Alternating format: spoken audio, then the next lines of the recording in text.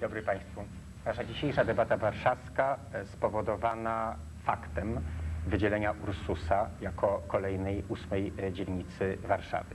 E, Z tego faktu wynika już kilka konsekwencji. No, pierwszą jest to, że mamy w tej chwili nie siedmiogród już, czy będziemy mieli, lecz ośmiogród. To jest pierwsza realna konsekwencja. Druga, jakieś zmiany polityczne w Radzie Warszawy. E, Ta Rada Warszawy e, będzie e, liczyła po wyborach prawdopodobnie 32 osoby.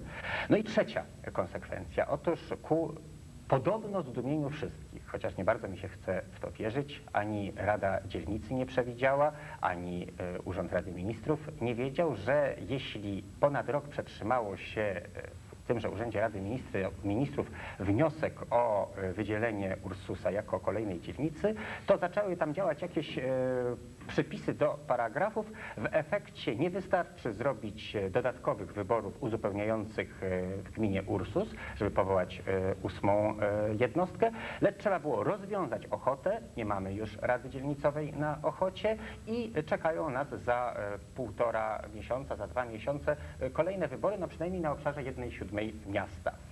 E, Z tego też wynikną konsekwencje, no bo e, żadna Rada Dzielnicy prawdopodobnie nie będzie już taka e, chętna, żeby jakąś inną jednostkę e, wydzielić i tym samym swój byt podważyć. A przypomnijmy, że do obecnych rad kandydowali radni w poszczególnych dzielnicach z małych okręgów. Tych okręgów było łącznie 48. E, Poproszę studio o mapę, a e, panom przypomnę, jak wyglądał komunikat komisarza wyborczego, prawda? Tutaj mamy tych siedem dzielnic i e, w siedmiu dzielnicach po e, sześciu, siedmiu radnych wchodziło z poszczególnego okręgu. Taka grupka tych radnych, tych sześciu, sie- siedmiu, głównie oczywiście z Komitetów Obywatelskich Solidarności, oni się wywodzili, oni pisali razem programy, oni e, pisali e, swoje e, hasła, a tymi hasłami bardzo często e, było e, wyłączenie się danego okręgu e, z dzielnicy. Tak było w Rususie. E, Tak było e, na Ursynowie, e, tak było na, na Starówce, z której ja sam pochodzę, e, tak było w Wawrze, e, tak było w wielu innych miejscowościach. No i e, ta identyfikacja e, oczywiście została zerwana, jak tylko powstały rady tych sześciu, siedmiu e, radnych z okręgu wchodziło do dużej rady, no i szybciutko się przekonywało, że nie jest w stanie żadnej lokalnej sprawy rozstrzygnąć, no bo jest naprzeciwko nich siedzi 40 innych radnych i oni nie będą głosowali w sprawie małego okręgu.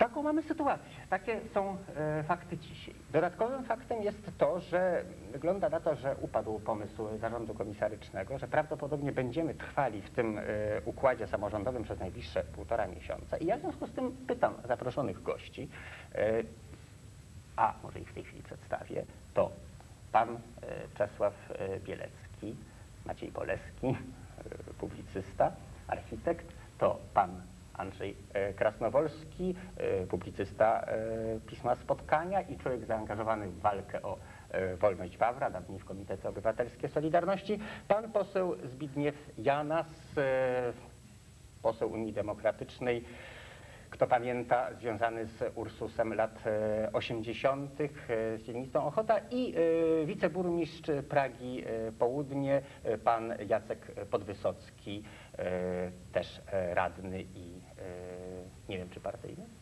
Nie. Bezpartyjny. E, więc e, takich to mamy gości, których zapytuję panowie, to jakie, Ja też, ja też. to jak, bardziej dziwne. To jak ma w takim razie wyglądać ustrój tego naszego miasta? Czy te 48 okręgów, czy e, 8, 9, jak to dzielić? Sprawa Ursusa była sprawą dla nikogo niekwestionowalną.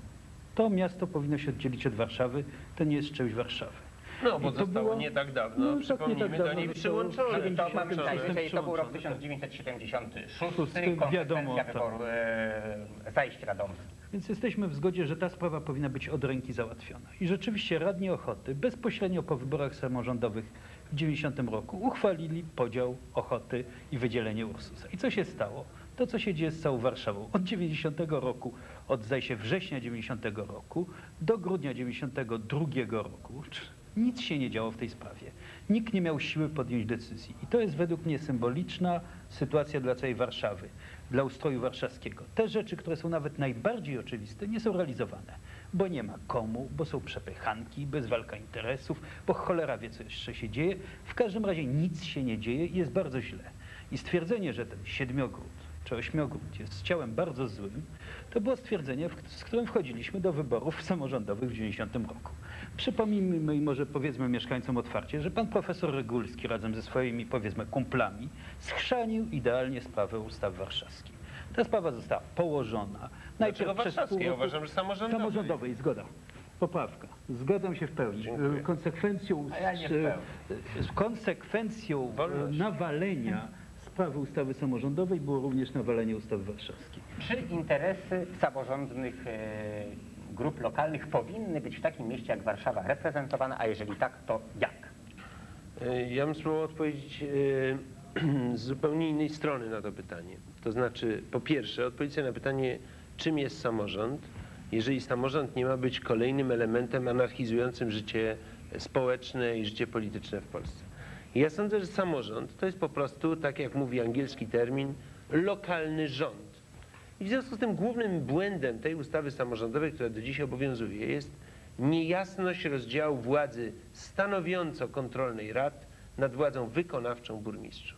Oraz został wykonany pewien błąd, moim zdaniem, y, natury bardziej z dziedziny psychologii społecznej czy, czy, czy y, nieznajomości psychiki e, polskich polityków, mianowicie nie głosowało się na jednostki, a Polska jest krajem wielu wybitnych i sensownych jednostek, a głosowało się, no co dużo gadać, na kilkadziesiąt tysięcy radnych. I to przekonanie, że kolektyw jest w stanie wyłonić siebie jako myśl zbiorowa, mądrość ludu, oddolnie demokratycznie wybrana, sensownego przywódcę, to jest kompletne nieporozumienie.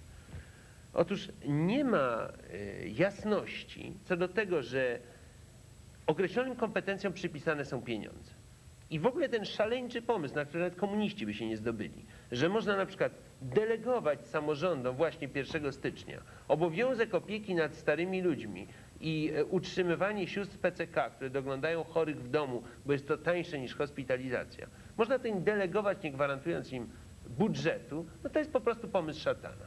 Pomysł, w którym prezydent Warszawy może się spierać z wojewodą, nie chcąc odebrać od wojewody ulic państwowych, gdyż boi się, że dostanie ulice państwowe bez budżetu państwowego na y, utrzymanie tych ulic, to są po prostu pomysły szaleńcze. No, to jest pomysł taki, jak y, w tej chwili panowie, którzy nas filmują, by powiedziano im, filmujcie starannie, ja bardzo proszę do połowy, od połowy albo z profilu, ale nie mają kamery. Zamiast rozmawiać, co zrobić dla Ursusa, w jaki sposób spowodować, żeby pieniądze były sensownie, autonomicznie zarządzane przez wspólnotę Ursusa w ramach wspólnoty większej, mówi się tak, dajcie nam te pieniądze, to my już nimi sensownie porządzimy. No, nie, można, nie można akceptować sytuacji, w której na poziomie rządu będzie się bez przerwy rozważać, czy określony mały górny Karabach w tym czy w innym mieście, w tej czy w innej gminie będzie nagle chciał się wydzielić. Ponieważ nie w tym rzecz. Istota samorządności, jak dać ludziom tyle autonomii, żeby nie buntowali się przeciwko swojej górze. No właśnie, to może zapytajmy ludzi. Ja byłem dzisiaj w Ursusie, byłem pod fabryką, e, zadałem pytanie o Ursus. Poproszę e, studio o e, sondę. Uważam, że nie powinno tak być. Powinniśmy należeć do Warszawy tak jak było. Dlaczego? Dlatego, że nie wiem, czy gmina Ursus podoła w ogóle temu wszystkiemu e, no, podatkom czy jakimś czystości. Przecież Ursus jest tak brudny, że jest nie do przyjęcia. Ta obecnie, co, co, co była, nie zrobili nic ci nasi radni. Nic kompletnie. Wie pan, ja znam tych radnych, którzy są z tego zakładu. Głosowałem na nich, ale niech pan zobaczy Ursus brudny, taki jaki był, nie ruszyli nic. No z jednej strony byłoby to może i dobrze, dlatego że jako nawet zakłady Ursus, prawda, odprowadzałyby pieniądze dla swojej gminy, a nie dla całej Ochoty już, no a z drugiej strony Tylko Ursus tylko, upada. że znów upada. Wiem tylko jedno, że nic nie robione w Ursusie było przez ten czas, co odszedł pod ochotę podszedł. Wiem, że przedtem jak był ośrodek, Ursus był sam sobą, to kiedyś było i drogi były robione i w ogóle każdym coś się zawsze, coś jednego zawsze co roku przybywało. Jednak po prostu od tamtej pory nic, według mnie to nic się nie stało. Raczej chyba źle będzie. Ponieważ tutaj nie mają żadnej infrastruktury. Wie pan, żadnych szpitali. Niczego takiego nie ma. Ludzie są już tak zmęczeni, że w zasadzie i tak jest źle, i tak źle. Może się trochę polepszy, jeśli będzie oddzielna gmina, ale wątpię. Być może nie od razu, ale w przyszłości coś to da mieszkańcom Ursusa. To chyba dobrze, bo będziemy mieli własne pieniądze. Trudno to przewidzieć. Czy to będzie miało dla nas dobre skutki, czy ujemne. No bo tak jak do tej pory na przykład, to tak, w jakiejś sprawie się jechało na ochotę, nie, bo po tej stronie osiedle Niedźwiadek na wolę. Na wolę się przyjechało coś załatwić, nie, bo, bo to należy do ochoty. I tak się kursowało z jednej strony na drugą. A co będzie teraz? Po, myślę, że powinno być dobrze, ale... Będziemy się gospodarzyć, a tak to co nam dali, to musieliśmy wziąć. Sądzę, że ta sonda była bardzo dobra. Dlaczego? Wykazała absolutny, totalny mętlik w głowach mieszkańców. To, czy samorząd będzie dysponował pieniędzmi, czy nie będzie dysponował, nie zależy od te, kształtu tego samorządu. Ponieważ może to zależy od decyzji ministra finansów, które przypisuje w tym w danym, tym samym podziale administracyjnym samorządu, przypisuje takie lub inne pieniądze. Nie można bez komentarza zostawić tego, co panowie mówili, bo tu była taka zupełna negacja w ogóle, e, prawda, e, ustroju samorządowego i tak dalej.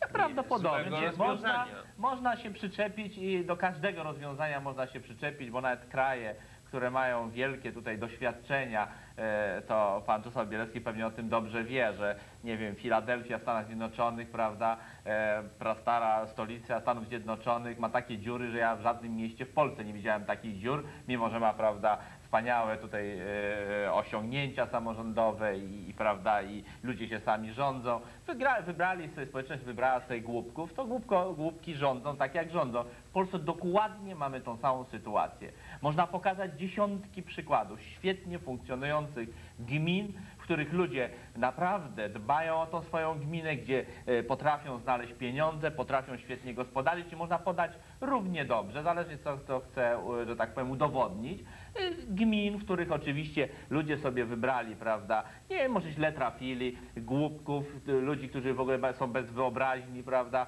nie, głównie dbają o własne interesy i tam oczywiście to nie gra. Jak zwykle najwięcej zależy od ludzi, od tych, którzy wybierają, od tych, którzy się dali wybrać. I to jest tak. Także na pewno, z całą pewnością, z całą pewnością można poprawiać. Są już pewne doświadczenia. Zresztą te ustawy samorządowe oczywiście, one już były poprawiane. Są w dalszym ciągu poprawiane i na pewno przez następne jeszcze twoje dzieci będą to poprawiać i moje, Czesiu. Z całą pewnością. Bo będą nowe doświadczenia, ludzie się czegoś nauczą, trzeba będzie to zmieniać. Mówicie Natomiast towarzyszu Jana, podstawa to jak jest. za komuny. O, Są, prawda, były. Towarzyszu, Ale o- Oczywiście system Ja jest rozumiem, że- dobry, tylko ludzie są niedoskonali, są wypaczenia. Czesiek, To to nie są znaczy, że wypaczenia. e, my tak idealnie urządzimy ten system, że nasze dzieci Nie. już nie będą miały nic Nie, do roboty, ja sądzę- tylko będą się płowiły. Nie. No, Ja sądzę, że po prostu no. system samorządowy przyjęty i organizacja samorządu przyjęta w Polsce do tego stopnia jest ukierunkowana na pewne struktury, pewną budowę, pewne zależności, a do tego stopnia jest pozbawiona praktycznych procedur, rzeczy, które powodują, że obywatel czuje, jaka część jego podatków, jaka część pieniędzy, którą on wytwarza, zostaje w jego dzielnicy, zależy od aktywności tej spo społeczności, jaka część tych pieniędzy spływa z góry, według jakich Jest kryteriów?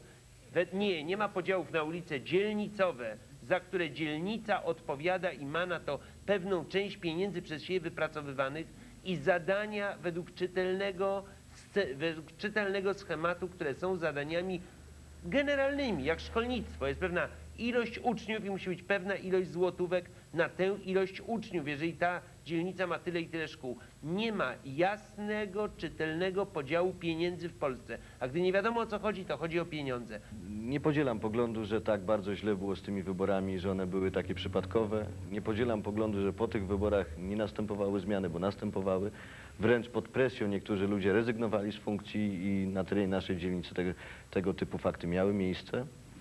W związku z tym oczywiście mogło być to bardzo niedoskonałe, ale nie aż tak. To jest pierwsza sprawa. Druga sprawa. Nie znam przykładu gminy w Polsce, która działając zgodnie z prawem obowiązującym odniosła sukces. To znaczy są przykłady gmin, które świadomie łamiąc prawo, faktycznie uzyskały sukces. Ale to było jasno i wyraźnie pokazane. Przykładem może być na przykład to, że gminy odstępują od y, ustawy o dobrej prosperycie Melin, przepraszam, o wychowaniu w trzeźwości, prawda? I wtedy następuje określony rozwój gospodarczy. Tych działających zgodnie z prawem nie znam. Ja nie podzielam poglądu, że ludzie mają mętli w głowie. Ja sądzę, że jest określona ilość wyobrażeń na temat czego człowiek się spodziewa o samorządzie i nie jest to skonfrontowane z tym, co de facto ten samorząd jest w stanie wykonać. To jest pierwsza sprawa. Ale druga sprawa, z doświadczeń tych dwa i pół roku mogę powiedzieć tylko tyle, że zgadzam się z e, oceniami brytyjskimi samorządu lokalnego. To znaczy, że samorząd jest tylko grą administracji rządowej, koniunkturalną grą.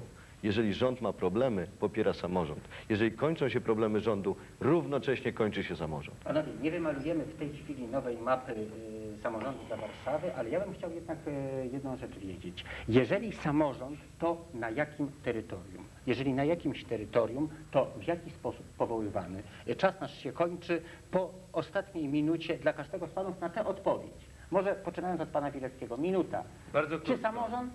Uważam, że podziały terytorialne są absolutnie drugorzędne w stosunku do podziałów merytorycznych. Jestem zdecydowanie przeciwny wszelkim zmianom granic między dzielnicami w Warszawie, podobnie jak jestem przeciwny koncepcji powiatów w Polsce.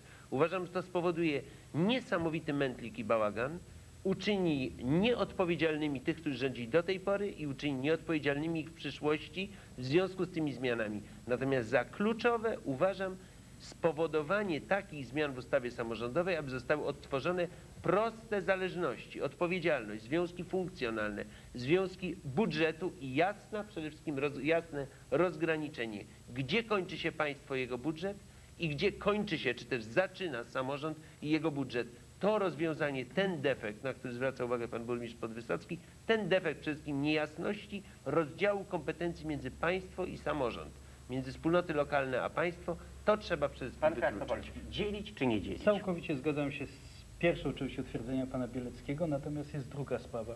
Uważam mimo wszystko, że nie należy zapominać, iż podmiotem y, ustawy samorządowej jest społeczeństwo. I nie jest obojętne, co się mieści w danej strukturze.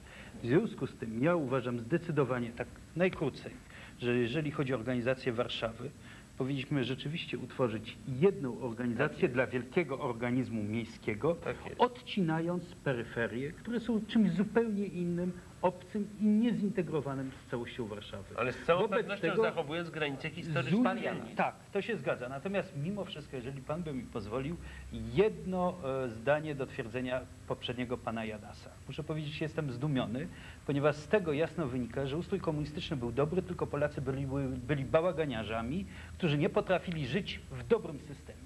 Niemcy byli porządni i dobrze pracowali w swoim systemie. To jest to, co pan powiedział. Pan Janas, dzielić czy nie dzielić tę E, Warszawę? Ale oczywiście e, słowo komentarza, jeśli pójdzie e, ta odpowiedź. Ja wręcz odwrotnie coś twierdziłem, że twierdziłem, że w bardzo wielu mie miejscach ludzie świetnie funkcjonują, wykorzystują możliwości i bardzo dobrze się go gospodarzą, więc ja nie twierdzę, że ludzie są tu źli. Ja twierdzę, że w niektórych miejscach ludzie rzeczywiście podejmują e, e, złe decyzje i łącznie z wyborami i potem zarządzaniem. A to jest e, zupełnie inna rzecz. Ale co Natomiast e, oczywiście jeśli chodzi o Warszawę, e, ja oczywiście podpisałem się pod e, e, tą ustawą e, tak zwaną metropolitarną i podtrzymuję swoje zdanie. Ja uważam, że, że ona jest najlepsza, bo ona jakby antycypuje pewne rozwiązania, które będą absolutnie konieczne, między innymi związane z wydzielaniem właśnie tych gmin na obrzeżach Warszawy. Między innymi z tego powodu. Natomiast, natomiast uważam, uważam, że nie stanie się nieszczęście, jeśli po pewnych dopracowaniach na przykład STEN decyduje, że, e, że Ustawa ustawa ZHN-owska. e, e, ZHN-owska jest e, e, dobra. Ja uważam, że w obu rozwiązaniach, przy pewnych, a z całą pewnością poprawkach, które muszą być dokonane, będzie lepsza sytuacja w Warszawie. I pan Podwysocki? Ja bardzo się cieszę, że pan poseł się podpisał, bo rozumiem, że pan poseł wie. Ja jestem pełen wątpliwości e, i podzieliłbym sprawę na dwie grupy. Pierwsza grupa to jest sprawna obsługa mieszkańców w zakresie ich potrzeb. To jest pierwsza sfera. I pierwszy obowiązek samorządu. Ale ja pytam o konkretną nie wiem. rzecz. O dzielenie Właśnie odpowiadam. Pierwsza sfera to jest sprawna obsługa mieszkańców i ich potrzeb. Druga sfera, przy czym to nie jest pierwsza, druga, bo to można zamienić, tylko są dwie. Druga sfera jest to możliwość współzarządzania miastem i artykułowania, e, że tak powiem, e, potrzeb e, przez mieszkańców. Rozstrzygnięcie tych dwóch sfer nie obędzie się bez rozdziału kompetencji administracji samorządowej i rządowej. Na podstawie te, tych danych będzie można powiedzieć pogodzić dwie sprawy. Optymalizację terytorium z e, ambicjami mieszkańców. Na tym tle. Natomiast niestety nie doczytałem się w ustawie czy w projekcie metropolitalnym jakiejkolwiek informacji na temat sposobu obsługi mieszkańców w ogóle. Równocześnie uważam, że należy skończyć z jakimkolwiek specjalną ustawą dla Warszawy. Warszawa ma takie same potrzeby i takie same problemy jak metropolie. wszystkie większe miasta, na przykład powyżej miliona mieszkańców na terenie całej Polski. A w związku z tym należy znaleźć sposób zarządzania czy struktury optymalnej tego typu miast. Ja chciałbym tylko powiedzieć z całą odpowiedzialnością, że niestety wyniki funkcjonowania miast polskich i Warszawy są równie złe lub równie dobre. I dobrze by było zanalizować przyczyny, dlaczego tak jest. No więc nie udało nam się odpowiedzieć na pytanie, co ważniejsze, co pierwsze, podział na terytorium czy układ e, wyborów demokratycznych. Myślę, że nadchodzące e, wybory, przynajmniej na tym jednej siódmej obszarze e, Warszawy, powinny postawić to pytanie i myślę, że do tego e, pytania będziemy musieli wrócić, może się nad nim skoncentrować.